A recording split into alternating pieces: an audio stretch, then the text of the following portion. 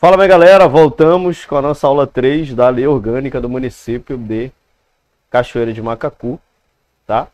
A gente vai dar continuidade, a gente vai seguir aqui o que está no edital. Muito provavelmente a gente está falando aqui do Poder Legislativo, das competências da Câmara, né? da composição, da organização, do funcionamento, atribuições. Então a gente vai falar das atribuições aí da Câmara Municipal hoje, beleza? Lembrando, galera, é, se você gostar dessa aula, deixa o like, deixa o comentário aqui embaixo também. É, pode ser um comentário pedindo para a gente fazer uma próxima aula, né? Ou um comentário elogiando a aula, ou um comentário criticando a aula, não tem problema, abra seu coração.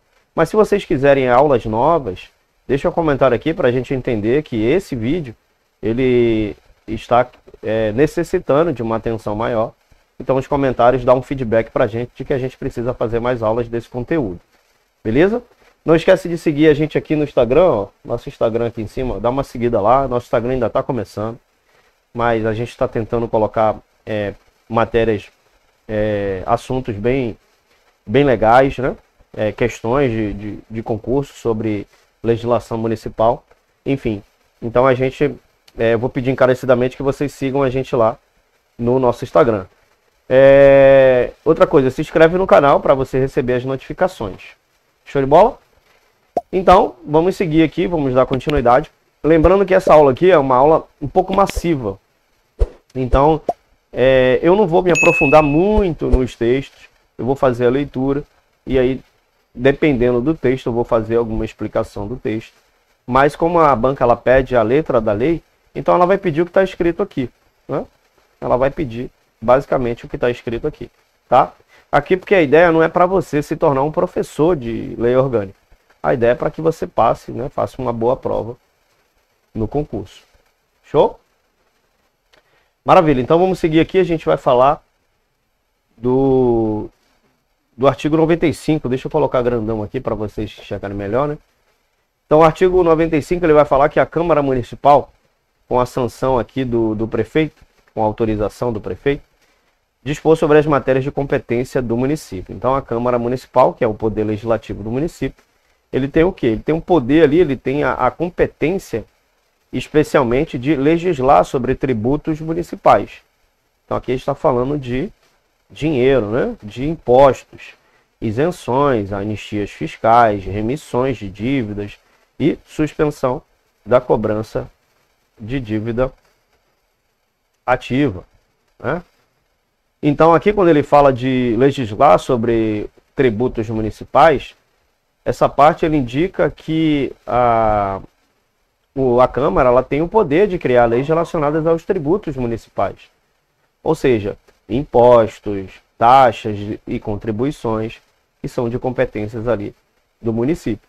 Então, isso vai incluir ali estabelecer alíquotas de, de impostos municipais, determinar as regras de cobrança e arrecadação enfim.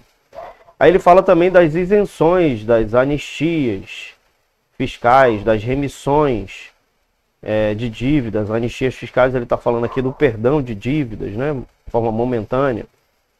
Então, é, é, aqui ele está falando que a entidade, né, a Câmara Municipal, ela pode legislar sobre questões relacionadas a isenções fiscais, ou seja, a dispensa do pagamento de determinados tributos, né? É, o perdão ou redução de multas e juros sobre débitos fiscais, o perdão ou redução de valor, né, é, do valor principal de uma dívida, a suspensão da cobrança da dívida ativa, né, que é no caso a suspensão temporária da cobrança de dívidas fiscais já constituídas, né? Então essas medidas são frequentemente utilizadas aí pela Câmara Municipal. Ele vai falar também aqui que a Câmara ela tem o, o, a competência de votar o plano plurianual, as diretrizes orçamentárias e os orçamentos anuais, bem como autorizar a abertura de créditos suplementares e especiais. Eu vou falar do plano plurianual, né? Eu vou falar porque é uma, uma informação relevante, né? Então, o plano plurianual, que é o PPA, ele é um instrumento de planejamento, ele é um instrumento de médio prazo, ele é elaborado pelo Poder Executivo, que estabelece as diretrizes, os objetivos e as metas da administração pública para um período de quatro anos. Então a Câmara ela tem a responsabilidade de votar e aprovar o plano plurianual, né, garantindo sua execução e acompanhamento ao longo do período estabelecido. Ele fala também de votar as diretrizes orçamentárias, que é a nossa LDO, que é a Lei de Diretrizes Orçamentárias. Né? Está falando aqui das diretrizes orçamentárias. Então, é, a, as diretrizes orçamentárias também é um instrumento que ela vai estabelecer as diretrizes e as prioridades ali para a elaboração do orçamento no próximo ano. Então, o órgão ou entidade mencionado aqui, né, a, a Câmara Municipal, ela deve votar e aprovar a LDO, que serve como base para a elaboração do orçamento anual. E ela também vai votar os orçamentos anuais. Então, o orçamento anual é um instrumento que detalha as receitas e despesas previstas para o exercício financeiro seguinte.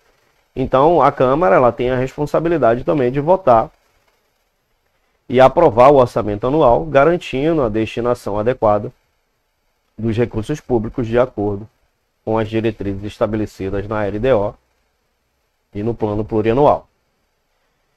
Ele fala também aqui de autorizar uma abertura aqui, ó, autorizar uma abertura de créditos e suplementares e créditos suplementares e especiais. Então, os créditos suplementares são autorizados também pela Câmara Municipal é, para utilizar recursos além do previsto no orçamento original. Então, o, o, a Câmara ela, ela tem o poder de autorizar a abertura desses créditos, permitindo ajustes nas despesas orçamentárias de acordo com a necessidade e prioridade da administração pública. Beleza? Show. Ela também tem a competência de votar a lei de diretrizes gerais de desenvolvimento urbano. São todas essas leis aqui são todas leis municipais. O plano diretor, o plano de controle e uso, parcelamento e de ocupação do solo e o Código de Obras Municipal. São todas leis municipais. Né? Então, a Lei de Diretrizes Gerais de Desenvolvimento Urbano, que está logo no início do texto, ela vai estabelecer as diretrizes, as regras gerais ali para o desenvolvimento urbano do município, como política de uso do solo, habitação, saneamento, mobilidade urbana, entre outros aspectos relacionados ao desenvolvimento urbano.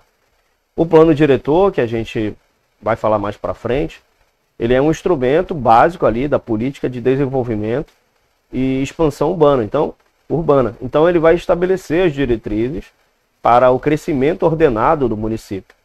E aí vai incluir uma série de aspectos, né, como o uso do solo, zoneamento urbano, preservação ambiental, infraestrutura entre outros. Ele fala também do plano de controle e uso do parcelamento e da ocupação do solo urbano. Né? Como ele está falando aqui, ó. Está falando aqui nessa parte aqui. Essa parte aqui. Beleza?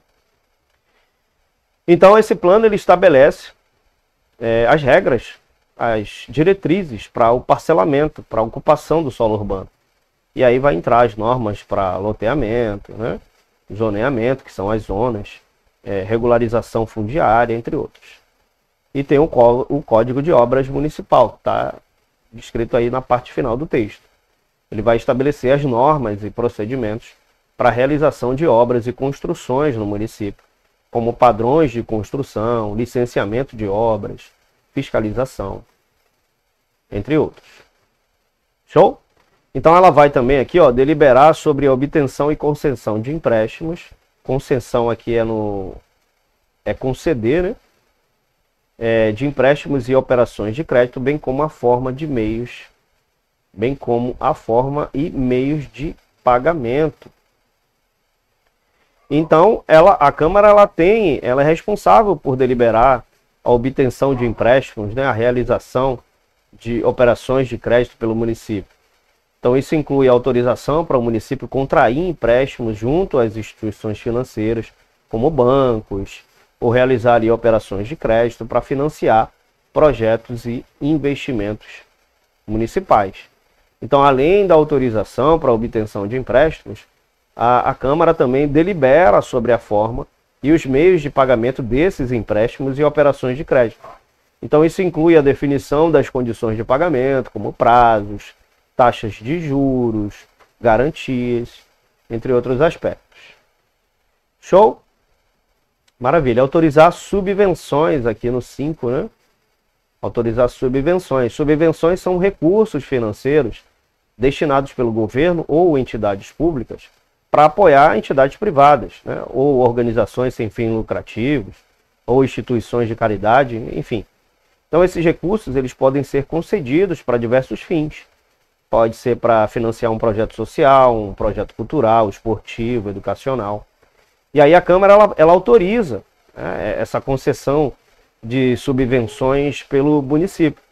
Então isso significa que cabe aos vereadores, eles vão deliberar, eles vão aprovar a destinação de recursos para subvenções, garantindo que esses recursos sejam aplicados de forma transparente, né, de acordo com os interesses e necessidades da comunidade.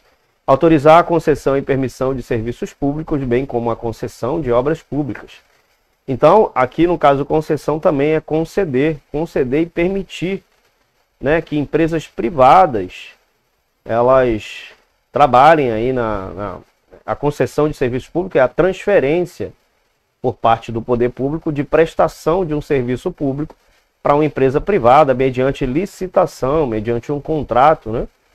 Então, é, é, exemplos de serviços públicos concedidos são fornecimento de água, energia elétrica, transporte público, entre outros. Então, quando ela fala da concessão, ela fala também da permissão de serviços públicos.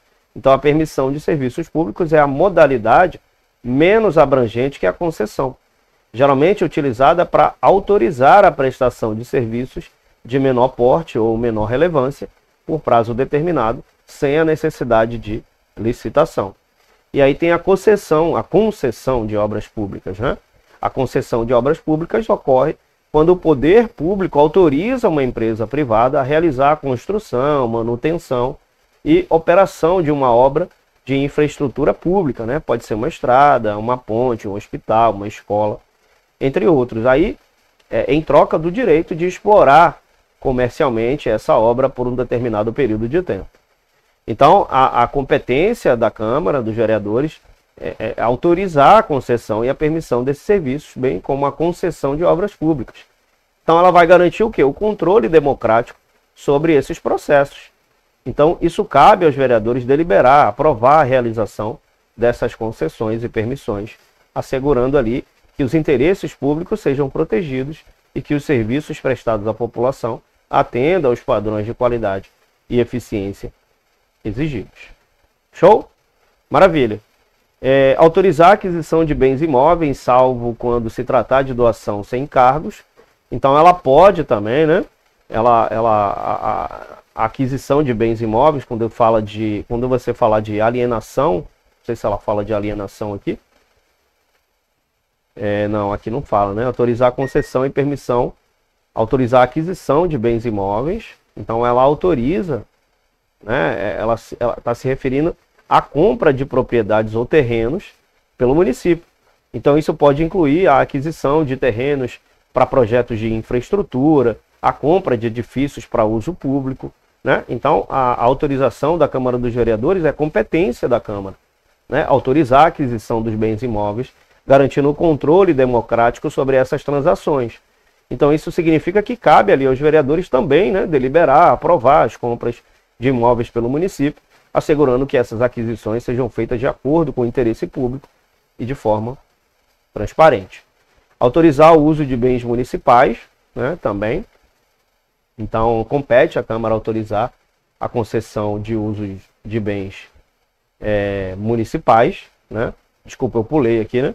Autorizar a cessão e a concessão de uso de bens municipais por prazo superior a seis meses.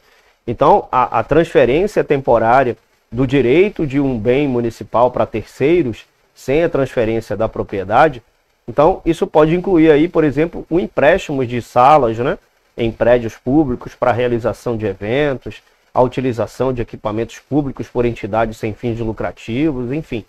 Então, é, ele fala da concessão de usos de, bem, de bens municipais. É semelhante à cessão de usos. Né? A concessão é semelhante à cessão, mas geralmente implica ali em uma, uma concessão formal por meio de contrato, estabelecendo ali os termos e condições para o uso do bem municipal. Então pode envolver, por exemplo, a concessão de áreas públicas para instalação de quiosques, né, estabelecimentos comerciais, entre outros. Então, é de competência também dos vereadores da Câmara autorizar a cessão e a concessão de uso de bens municipais por prazo superior a seis meses e controle democrático sobre essas transações. Então, isso significa que cabe aos vereadores aprovar essa cessão, essa concessão de uso de bens municipais por períodos mais longos, né? assegurando que essas decisões sejam alinhadas com o interesse público e sejam também transparentes. Aqui ele vai falar autorizar o uso de bens municipais. Então, além da, da cessão e da concessão, o uso também de bens municipais. Ela autoriza também a alienação de bens imóveis, vedada a adoção sem encargos, né? Então, quando ele fala de alienação, ele está se referindo à venda, à transferência de propriedades é, de imóveis, de propriedades imóveis pertencentes ao município. Então, isso pode incluir a venda de terrenos, edifícios, ou outras estruturas ali da, de, de propriedade pública. Então, a competência da Câmara, né, é, dos vereadores, é, desses bens imóveis, garante o controle democrático sobre essas transações. Então, continua aqui a, a, a Câmara tendo essa atribuição. Beleza? Autorizar o comércio com outros municípios. Então, cabe à Câmara, a Câmara também, né? é, ela está se referindo aqui à atividade comercial entre o município em questão, que é o de, que é o de Cachoeira de Macacu, e outros municípios. Então, isso pode incluir a compra e venda de produtos e serviços, a realização de negócios, parcerias comerciais. Então, a competência é, a, a, a Câmara ela autoriza, né? ela tem que autorizar esse, essa, esse comércio entre os municípios atribuir a denominação a próprios vias e logradouros públicos, que fala aqui no inciso 12, né? Então aqui ele está falando que está se referindo a, a, a, atribuições de nomes a prédios, edifícios e outros imóveis de propriedade pública, como escolas, postos de saúde, praças, entre outros. Então ele, ele também pode escolher a denominação de vias, né? Diz respeito a atribuições de nome a ruas, avenidas, estradas, e outras vias públicas. Ele também está falando da denominação de logradouros públicos, então envolve atribuições de nome a espaços públicos ao ar livre. Então ela pode escolher ali é, como praças, parques, jardins, né? Então depende da autorização é, da Câmara atribuir essas denominações aos próprios, né? Aos próprios, é, aos próprios prédios, né? Edifícios, escolas, enfim é, estabelecer critérios para delimitação do perímetro urbano. Então, o perímetro urbano é a área delimitada de um município que abrange as áreas urbanizadas. Então, onde se concentram as edificações, os serviços públicos, as atividades comerciais e industriais, entre outras características típicas do ambiente urbano. Então, é, ela estabelece ali é, é, estabelecimento de critérios então, refere-se à, à definição de regras e diretrizes para determinar quais áreas do município devem ser consideradas como parte do perímetro urbano. Então, isso pode incluir aí a definição de parâmetros como densidade populacional, infraestrutura disponível, né? padrões de ocupação do solo, entre outros aspectos relevantes. Então, cabe também à Câmara aí essa competência. Show? Autorizar convênios que importem despesas não previstas no orçamento anual e que impliquem criação de entidades dotadas de personalidade jurídica de direito público ou privado. Né? De direito público ou privado. Beleza? Aí aqui ele, ele vetou criar e transformar e extinguir cargos e funções em empregos públicos. Ele vetou também fixar o número de vereadores né, que aqui para cada habitante tem um número de vereadores, ele vetou, e aqui esse 15 aqui vetou um, vetou o outro, e agora esse daqui é fixar o número de vereadores para as próximas legislaturas, observados os limites estabelecidos na Constituição Federal. Então ela vai seguir o que está na Constituição Federal aqui, né? Para cada número de habitantes, o número de vereadores aqui. Então é até bom que a banca não precisa colocar quais são os vereadores, né? Quantos vereadores tem no município de Cachoeira de Macacu. E autorizar também a criação e extinção de empresas públicas, de fundações e autarquias. Aqui ele fala, isso aqui faz parte da administração indireta do município. Então ela pode autorizar aí a criação e a extinção, ela pode criar e ela pode eliminar também empresas públicas, fundações e autarquias que faz parte da administração indireta.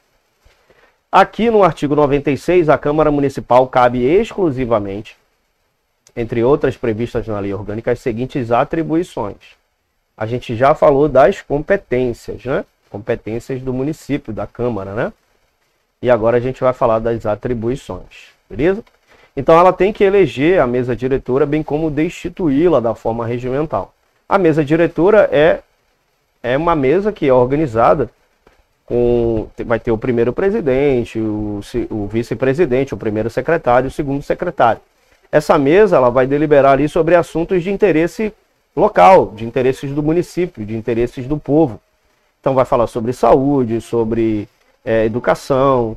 Então eles vão eleger a mesa para deliberar sobre esses assuntos, né? Que aí vai ter ali a divisão dos partidos, um vai ficar responsável pela, pela parte da saúde, outro vai ficar responsável pela parte da educação, enfim. Então a Câmara ela vai eleger a mesa diretora. A mesa diretora geralmente é, é, é elegida, né, nesse caso, é o presidente, o vice-presidente, o primeiro secretário e o segundo secretário. Então todos eles vão organizar a mesa, os horários, enfim, para é, para fazer essas deliberações.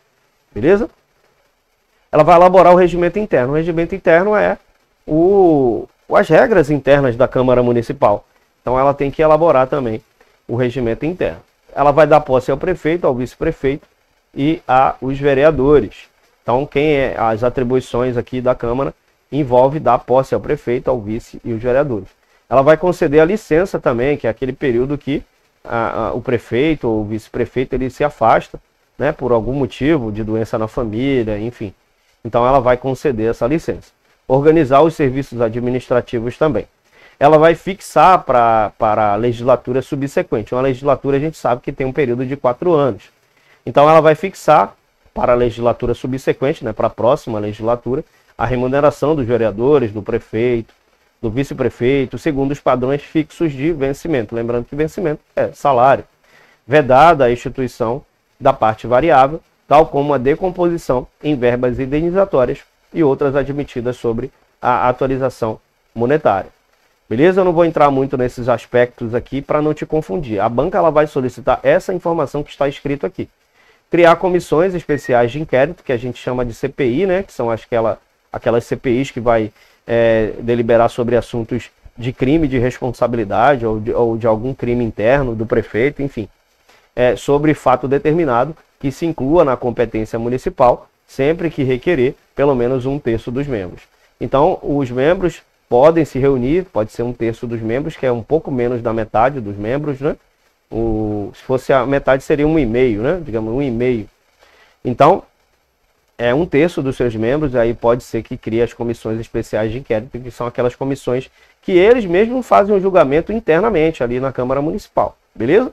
Solicitar informações ao prefeito sobre assuntos referentes à administração, então eles podem, né, ela, ela tem essa atribuição de solicitar essas informações, ela pode convocar também o prefeito, né, para que ele compareça pessoalmente, né, para prestar informações sobre matérias previamente determinadas de sua competência, outorgar pelo voto de no mínimo dois terços do seu, dos seus membros títulos e honrarias previstos em lei a pessoas que reconhecidamente tenham prestado serviços é, ao município, né? E aí faz ali uma. Ali eles fazem uma reunião, né? Que é a reunião solene. A, a palavra não é reunião solene, mas é porque é, são sessões solenes, isso, sessões solenes. Então eles podem fazer isso também, a Câmara pode fazer, tá?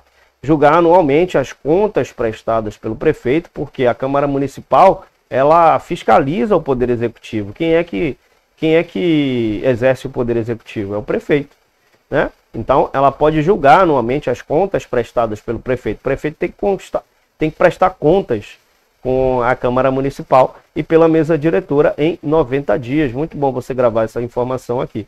Após a apresentação do parecer prévio pela Corte de Contas competente, observando o seguinte. Então eles vão observar o seguinte: o parecer prévio só deixará de prevalecer por decisão de dois terços do membro da Câmara Municipal. As contas do município ficarão durante 60 dias, anualmente, na Câmara Municipal e na Prefeitura, para exame e apreciação à disposição de qualquer pessoa física ou jurídica que poderá questionar-lhe é, a legitimidade dos termos da lei. Então, aqui é o princípio da transparência. Né? É, durante o período deferido da, na linha anterior, o presidente da Câmara Municipal e o prefeito, respectivamente, designarão servidores habilitados para audiência pública prestarem esclarecimentos. Será dada publicidade na imprensa local e no órgão oficial do parecer e da resolução que concluírem pela rejeição das contas, encaminhando-os ao Ministério Público pra, para as providências cabíveis. É, também aqui no inciso 12, proceder à convocação do prefeito quando não apresentadas as contas no prazo legal, sujeitando-se a, a este as sanções cabíveis. Então, o, o, proceder à convocação do prefeito, né, quando não apresentadas as contas no prazo legal. Então, eles vão solicitar as contas. Se não for apresentada no, no, no prazo legal, ele vai estar sujeito às sanções cabíveis. Né? Então, estabelecer normas sobre despesas destinadas a vereadores em missão de representação da Câmara e sustar os atos normativos do Poder Executivo que exorbitarem do poder regularmente.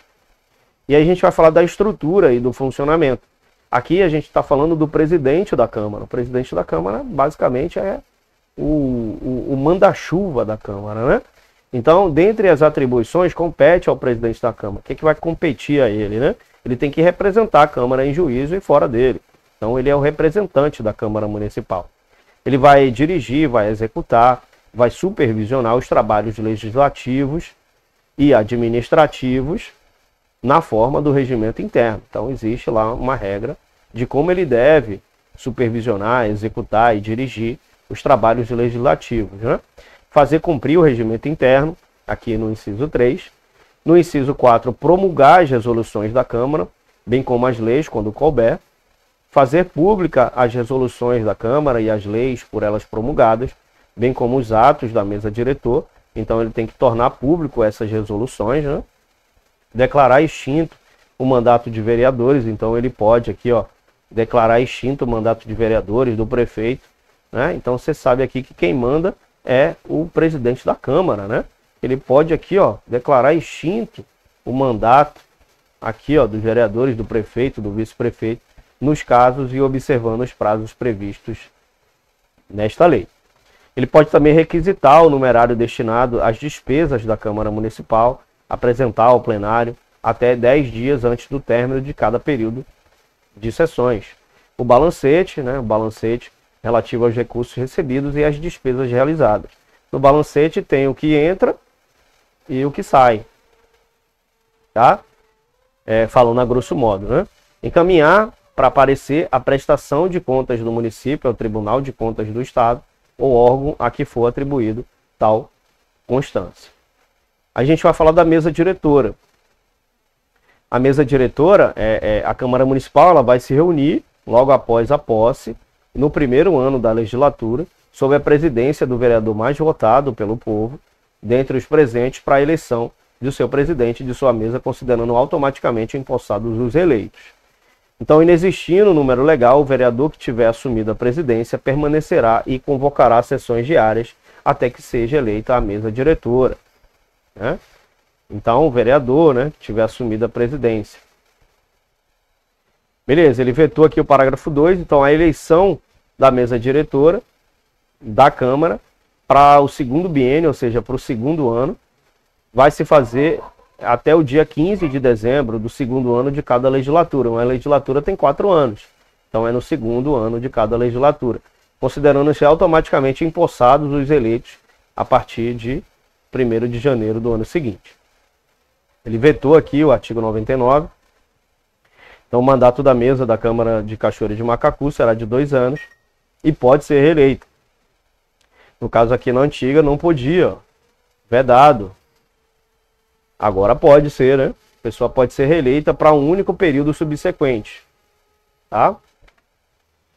Show de bola. São é, de iniciativa exclusiva da mesa diretora os projetos de lei que o quê? Que vão autorizar a abertura de créditos suplementares especiais, aqueles créditos que a Câmara ela pode solicitar em casos de emergências é, financeiras, né? mediante anulação parcial ou total de dotação da Câmara Municipal. É, cria, transforma e extingue cargos dos serviços da Câmara Municipal e fixem os respectivos vencimentos. Então a mesa ela pode criar, pode transformar e pode eliminar os cargos dos serviços da Câmara Municipal. Aqui no parágrafo único, emendas que aumentam as despesas previstas somente serão admitidas no caso, no caso do inciso 2 e desde que assinados é, por dois terços, no mínimo, dos membros da Câmara Municipal. Então, aqui no artigo 101, a mesa diretora da Câmara se compõe do presidente, vice-presidente, primeiro secretário e segundo secretário, os quais se substituirão nessa ordem. Então aqui ele está falando que se faltar o presidente, o vice assume, se faltar o vice, o primeiro secretário assume e assim por diante. Na ausência dos membros da mesa, esses aqui, o vereador mais votado dentre os presentes assumirá a presidência. Qualquer componente da mesa poderá ser destituído, ou seja, retirado da mesma pelo voto de dois terços dos membros da Câmara, né? um pouco mais da metade dos membros, quando faltuoso, omisso ou ineficiente no desempenho de suas atribuições regimentais, elegendo-se outro vereador para a contemplação do mandato. Aqui cumpre a mesa diretora dentre as atribuições. Então vamos lá falar aqui das atribuições. Ela pode elaborar e encaminhar ao prefeito a proposta orçamentária da Câmara Municipal a ser incluída na proposta do município e fazer, mediante a discriminação analítica das, dota das dotações respectivas, bem como alterá-las quando necessário. Se a proposta não for encaminhada no prazo previsto, será tomado como base o orçamento vigente para a Câmara Municipal. Ela pode suplementar a Câmara, né, a, a, a mesa diretora, dentre outras atribuições, pode suplementar, ou seja, complementar, mediante ato, as dotações do orçamento da Câmara Municipal, observando o limite da autorização constante na lei orçamentária. Então, existe aqui um limite, né? desde que os recursos para sua abertura sejam provenientes de anulação total ou parcial de suas dotações. Devolver à Fazenda Municipal até 31 de dezembro o saldo do município que foi liberado durante o exercício para a execução do seu orçamento. A mesa diretora também envia ao Tribunal de Contas até o primeiro dia de março as contas do exercício anterior. Ela vai enviar ao prefeito também é, até o dia 10 do mês seguinte os balancetes financeiros e suas despesas orçamentárias relativas ao mês anterior, a fim de serem incorporados os balancetes do município. Ela vai administrar os recursos organizacionais, humanos, materiais e financeiros da Câmara Municipal, é, designar os vereadores para missões de representação da Câmara Municipal e nomear assessores legislativos para cada vereador. E aí a gente vai chegar na parte de sessão legislativa, que também é muito importante. É, muito provavelmente isso aqui pode cair na sua prova, tá? Então, a sessão legislativa compreenderá os períodos legislativos de 15 de fevereiro a 30 de junho, 1 de agosto a 15 de dezembro. Como é que eu faço para gravar essa data, né? Eu faço o seguinte, aqui 15 de fevereiro, geralmente a, as crianças elas têm um ano letivo, né? Então o ano letivo ele começa, tá? As pessoas têm o, as férias de janeiro, e aí elas começam a, se eu não me engano, eu, eu só estou usando isso para lembrar, tá, galera? Eu não sei se começa 15 de fevereiro. Pode ser que comece 15, pode ser que comece 1 de fevereiro, mas eu só faço isso para lembrar o período. Então, começa em fevereiro, o ano letivo, e aí vai até 30 de junho. E aí, a partir de julho, tem aquelas férias de julho, que é a segunda, a, a segunda né, férias ali no ano letivo. E aí começa 1 de agosto. Então, junho, julho, aí agosto, Aí vai de agosto, o ano letivo vai de agosto até 15 de dezembro, aí encerra novamente. Então é de 15 a 15. Né? Você lembra que é de 15, é de fevereiro, até 15 de dezembro. E aí tem 30 de junho, é de 15 de fevereiro a 30 de junho, tem as férias de julho, e aí começa 1 de agosto né? e vai até 15 de dezembro. Então a sessão legislativa não será interrompida sem aprovação do, dos projetos de lei de diretrizes orçamentárias e do, do orçamento anual. Então a sessão legislativa lá que está debatendo, ela não pode ser interrompida sem primeiro aprovar os projetos das, das leis orçamentárias, né, que é a LDO, né, e a lei do orçamento anual. Né, e tem a lei do, do plurianual também. Né? Então, ela, ela, as sessões não serão interrompidas enquanto não houver essa aprovação dessas leis primeiro. A Câmara Municipal ela pode se reunir extraordinariamente, né? ou seja, é, tem as, as, as reuniões é, ordinárias e as reuniões extraordinárias para deliberar é, sobre matérias é, de objeto de convocação. Então, as extraordinárias acontecem geralmente em momentos porque existem as ordinárias, como o próprio nome diz, ordinária segue uma ordem, né? Vou até colocar aqui para vocês. Ó, tem as sessões ordinárias que seguem ali, seguem uma ordem, né? E as sessões extraordinárias. Né? Extraordinárias. Que aí ela pode ser feita em, em momentos emergenciais. Emergenciais.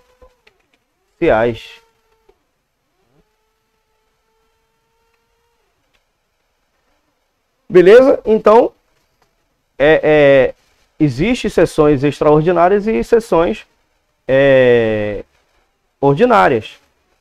Então, as sessões ordinárias são aquelas que já são feitas durante o ano, durante aquele período aqui que a gente falou, de 15 de fevereiro a 30 de junho, acontecem essas sessões ordinárias. Já existe uma, uma, uma data prevista para aquela sessão, para aquela reunião, digamos assim, né?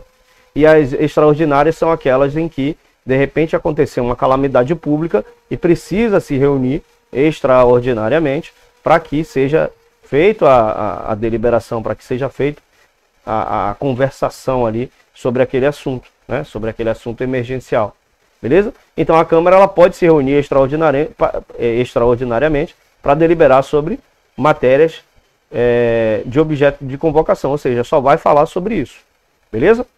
A sessão extraordinária será convocada pelo presidente da Câmara, lá o homem aqui de novo, ou a requerimento da maioria dos membros, ou pelo prefeito, em caso de urgência ou de interesse é, público relevante. Então lembra que extraordinário sempre vai estar ligado à urgência.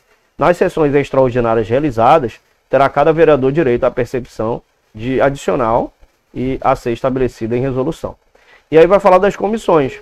A Câmara Municipal terá comissões permanentes e as comissões especiais, constituídas na forma do regimento interno ou no ato de que resultar sua criação.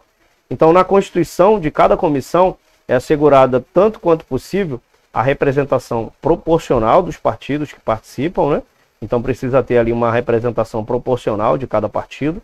Será obrigatória a existência da Comissão Permanente de Constituição e Justiça para exame prévio, entre outras atribuições da constitucionalidade e da legalidade de qualquer projeto.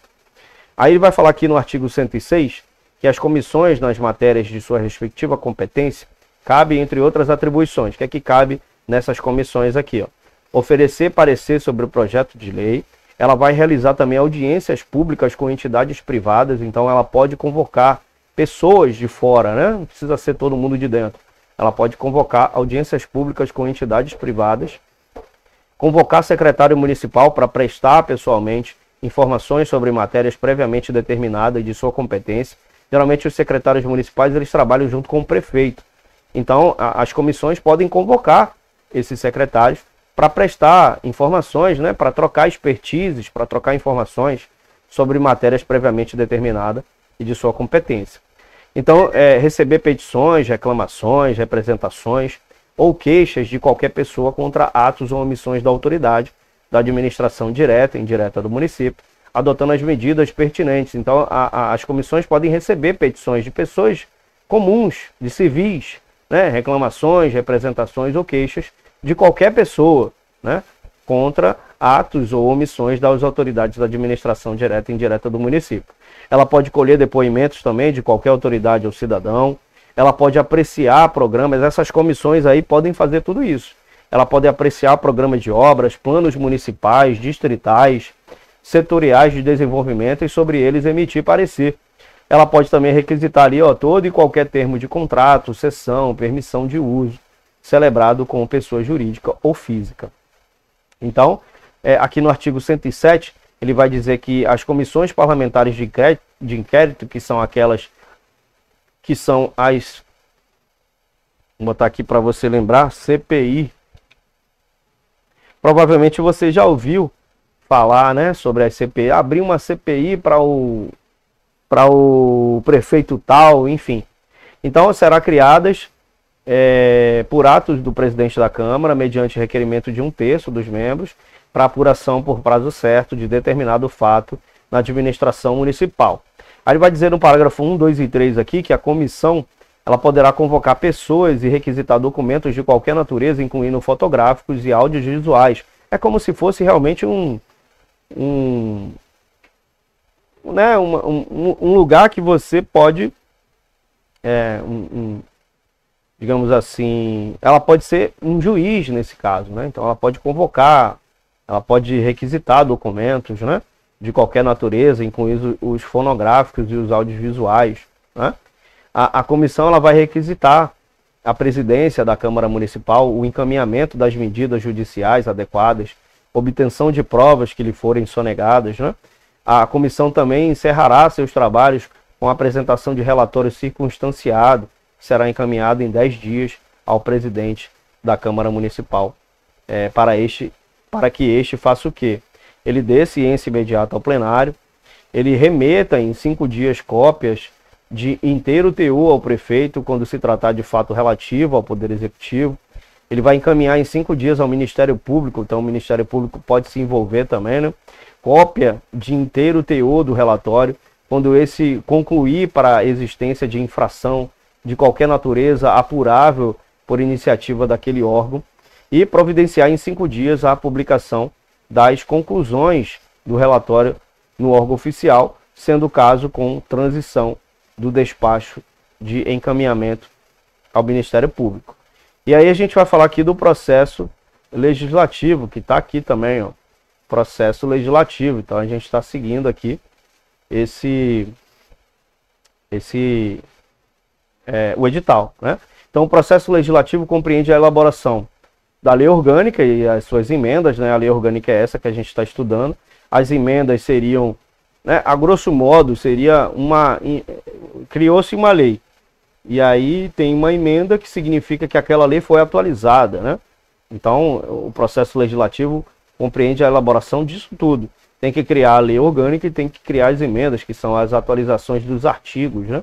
As leis complementares, as leis ordinárias, as leis delegadas as resoluções, os decretos legislativos e as medidas provisórias. Eu não vou entrar muito nesse aspecto aqui, porque a banca não está solicitando né, é, essas informações. Ela vai pedir qual é o processo legislativo. Aí você tem que gravar esses aqui, tá? Eu não vou explicar o que é leis ordinárias, leis complementares, leis de... senão a gente vai perder muito tempo, beleza? É... Galera, eu vou fazer o seguinte. Essa aula já já está com quase 44 minutos. Eu vou deixar essa a próxima aula. Né? Se vocês gostarem dessa aula, eu vou pedir para vocês deixarem o um comentário aqui embaixo. Ó, faça a aula 4, por, é, né?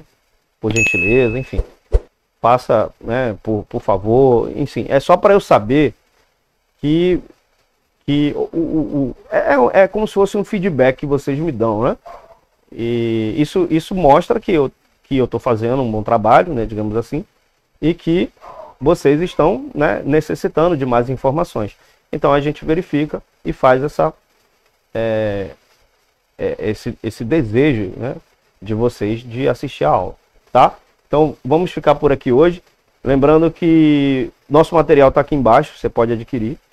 E é isso aí, beleza? Tamo junto, aquele abraço e tchau.